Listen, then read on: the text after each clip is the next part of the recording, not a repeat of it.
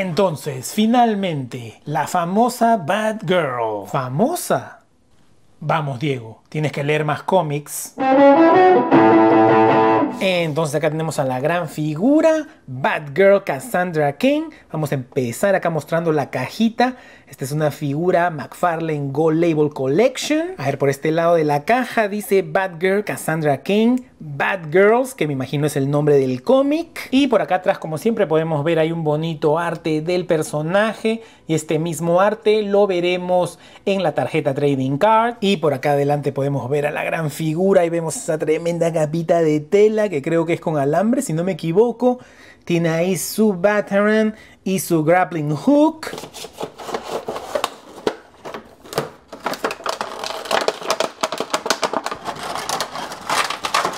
Y wow, ustedes ya saben, esto es mi obsesión, mi kriptonita, capita de tela con alambre. Se ve increíble esta figura. Acá tenemos a la famosa Batgirl, Cassandra Ken. Y bueno, yo no sé si será tan famosa yo primera vez que escucho de este personaje, no puede ser. A ver, ¿qué dice por acá? Nombre real, Cassandra Kane. Y supuestamente este personaje debutó en la saga de No Man's Land. Y era la cuarta batichica. Batman estaba cambiando de batichicas como si fueran calzoncillos. Y luego también fue la líder de The League of Assassins antes de que Batman la adoptara. Y bueno, ya que mostramos acá la tarjeta Trading Card, vamos a mostrar el resto de los accesorios. Esta figura nos trae la base clásica de McFarlane y DC. Esta figura nos viene con un Batarang, con una bonita pintura dorada y por último también nos mandan un grappling hook. Creo que esta figura le hubiera quedado bien un par de manos haciendo puños. Creo que las va a necesitar para algunas poses. Y creo que esta figura también le hubiera quedado bien este tipo de base transparente donde la pueda agarrar de la cintura. Definitivamente ayudaría mucho para esas poses donde está saltando, donde está haciendo un gliding ahí con sus alas. Pero me parece que McFarlane solo manda estas bases con figuras de Superman. Y el accesorio principal obviamente es acá su capita de tela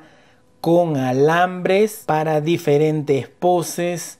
Hay todo lo que podemos hacer. Como pueden apreciar, esta capita acá tiene dos alambres. En algunas marcas, las capitas de tela tienen alambres en estas zonas que creo que definitivamente ayudarían para mejores poses. Pero acá yo también creo que con esta capita eh, podemos hacer muchas poses dinámicas, ahí tenemos que ponernos creativos con las poses. Y si me tengo que quejar de algo, creo que es el material. Es una tela bien delgadita. Sería chévere que fuera algo como esto, como una imitación de cuero o he visto algunas también que son como de gamuza, no estoy seguro, pero definitivamente he visto mejores capitas de tela en otras marcas. El acabado también acá en los bordes no es de lo mejor. Esto parece algo que yo hubiera hecho, así como si hubiera doblado todo el material, lo hubiera comenzado a cortar ahí medio raro. Si esto no se ve muy profesional que digamos, pero igual creo ahí con una buena iluminación para tus fotos, para tus videos, eh, se pueden hacer muchas cosas chéveres con esta figura y con esta capita de tela. Y sí me gusta mucho el diseño de este personaje ahí con ese, con ese tipo de máscara ahí que no podemos ver los ojos. Esta es una versión del murciélago que sí parece un vigilante, que parece un antihéroe. Y bueno, ya habíamos mencionado también que ella fue parte de The League of Assassins. Entonces como que tiene sentido ahí el diseño de este traje, este look. La figura también creo que tiene buenas proporciones. Por un momento pensé que la cabeza estaba como muy pequeña, pero no, esta cabeza sí está a proporción ahí con todo el cuerpo.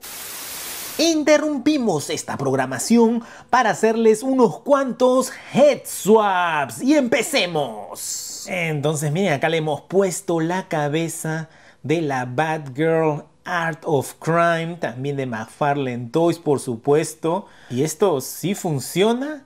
Creo que sí va a proporción esa cabeza con el resto del cuerpo. Muy bien, entonces ahora pasemos a la siguiente. Entonces ahora le hemos puesto acá la cabeza de Catwoman, la versión del Dark Knight Rises, la versión de Anne Hathaway. Entonces con esta cabeza parece como que se expone mucho el cuello, se ve mucho cuello ahí.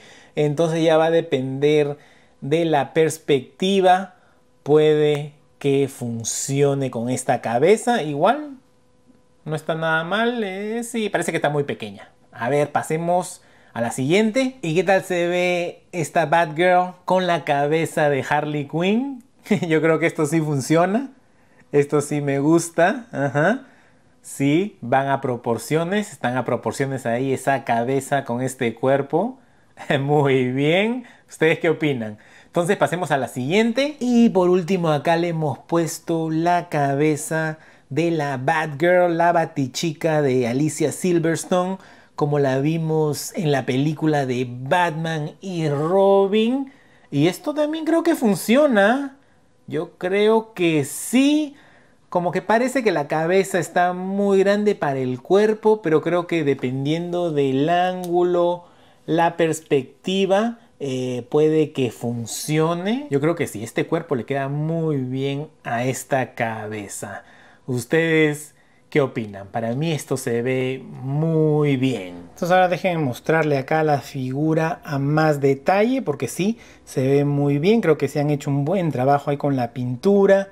Miren acá este detalle, acá en la bota parece ahí como un murciélago. Su utility belt también se ve muy bien ahí con esos bolsillitos.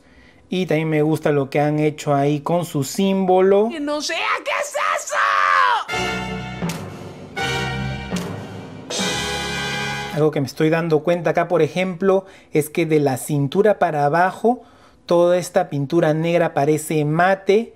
Y de la cintura para arriba, acá en el torso, tiene como un brillo ahí, esa pintura como un gloss. No sé si soy yo, si es la cámara, si son mis ojos. Acá en el brazo creo que también podemos apreciar ese color mate y también acá en la guanteleta vemos ahí el detalle, el diseño del murciélago. Ah, mire, casi me olvido de este detalle acá en el pie. Se ve muy chévere. ¿Y qué tal está ese esculpido de rostro? Yo creo que está bien, sí cumple. El único detalle que podemos apreciar ahí es donde supuestamente cosieron para tapar la boca y esto obviamente ha sido esculpido. Yo creo que se ve muy bien. De perfil también me gusta cómo se ve la figura. También me gustan ahí esos cuernitos, esos cachitos. Y esta figura mide ahí unos casi 17 centímetros y medio con la ayuda de los cuernitos, los cachitos. Y veamos qué tal se mueve esta Batgirl Cassandra Kane. Ahí la cabeza, puede hacer el 360.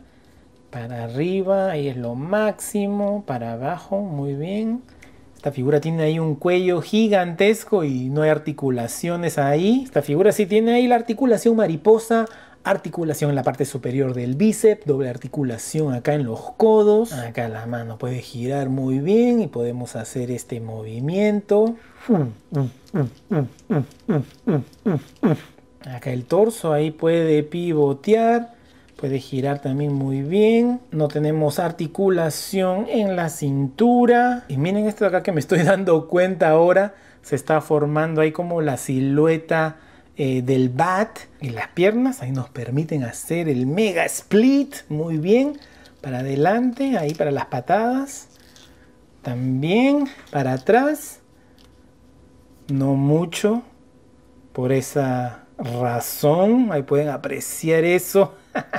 No tenemos articulación acá en el muslo, pero sí tenemos doble articulación acá en las rodillas. No hay articulación acá en la bota, en la canilla, pero sí podemos girar acá el pie. Ahí podemos mover de esta manera. Y por último tenemos ahí articulación en la punta de los dedos. Esta figura sí que se mueve muy bien, en verdad me ha sorprendido con esas articulaciones. Y por supuesto que no puede agarrar ahí su Batarang parece que está muy ancho ahí para que lo agarre de esta manera, porque no lo va a agarrar así, pues así sí entra, ahí sí lo puede agarrar, pero la cosa es que lo tenga así, ahí se cayó. La cosa es que esté de esta manera, que así lo puede agarrar y obviamente no va a entrar.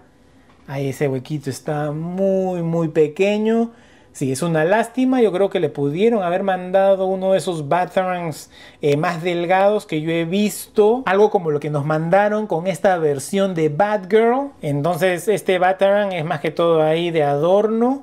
A ver si lo podemos acomodar en un lado. No, esto de acá simplemente es un adorno, una excusa para cobrar lo que cobra el tío Todd por estas figuras. Pero acá su grappling hook sí lo puede agarrar ahí muy bien y si se ve muy bien la figura sosteniendo ahí su arma, su accesorio y acá sí nos podemos poner creativos con esa capita de tela y con ese grappling hook. Entonces ahora acá tenemos a esta Batgirl al lado de otros personajes de otras franquicias, otros universos, otras marcas. Algunos de estos personajes también tienen su capita de tela. Y ahora acá la tenemos al lado de mis otras versiones de Batgirl. Las tres figuras se ven increíbles, cada una tiene ahí sus cosas buenas, sus cosas malas. Y por último acá la quería poner al lado de otras figuras del multiverso DC, figuras que también son de McFarlane Toys. Entonces acá tenemos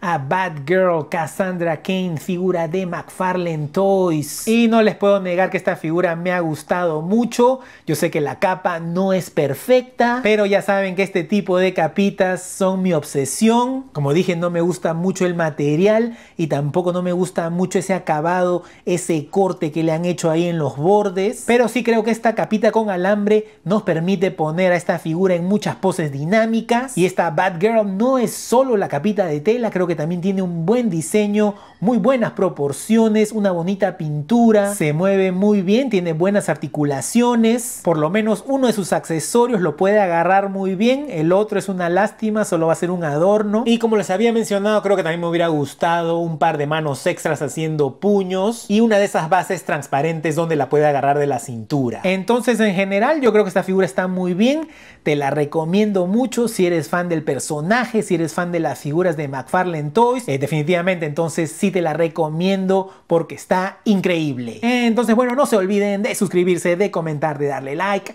Acuérdense, estos son los juguetes de Marty. Yo soy Diego, no soy Marty. Hasta la próxima.